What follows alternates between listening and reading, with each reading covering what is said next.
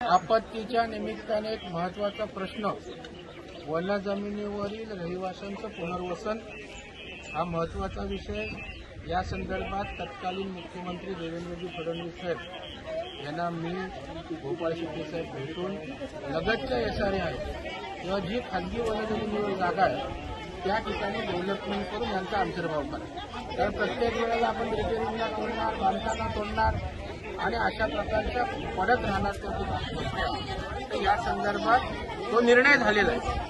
परंतु त्याची दुर्दैवानं अंमलबजावणी नाही. लवकरच या विषयासंदर्भात मी स्वतः शेट्टी साहेब आम्ही मिळून या सगळ्या वनजमिनीवरच्या लोकांचं पुनर्वसन कसं व्हावं? आजही त्यांना पाणी मिळत नाही. आजही त्यांना वीज नाही.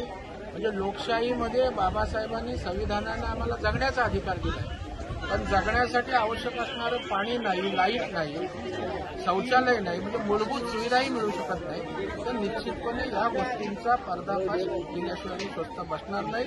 आणि लगतच्या यासारी इथल्या उपलब्ध भूखंडांवर यांचं पुनर्वसन करण्यासंदर्भात अगदी दिल्लीपासून ते गल्लीपर्यंत शेट्टी साहेबांनी मी पाठपुरावा करत इथल्या लोकांना न्याय देण्याचा प्रामाणिक प्रयत्न हजारोच्या संख्येनं एसआरए स्कीम त्या ठिकाणी अर्धवट आहे. आज भाडोत्री बाहेर आहेत त्यांना भाडी मिळत नाहीत म्हणून त्यांना घरातल्या बाहेर काढलं जातं बिल्डर भाडी देत नाही आणि याचा एकत्रित विचार करण्याची आवश्यकता आहे. परंतु आज दुर्दैवानं ते होताना दिसत नाही. आपण बघाल की दोन चार एसआरएच्या स्कीम आहेत. मी सांगितलं लोकांची भाडी द्या नाहीतर त्या ठिकाणी थांबवा मी त्या स्कीमना स्टे दिला कारण तुम्ही पैसे कमावणार एसआरएच्या नावावर आणि गरिबांची भाडी देणार नाही तर हे चालणार नाही.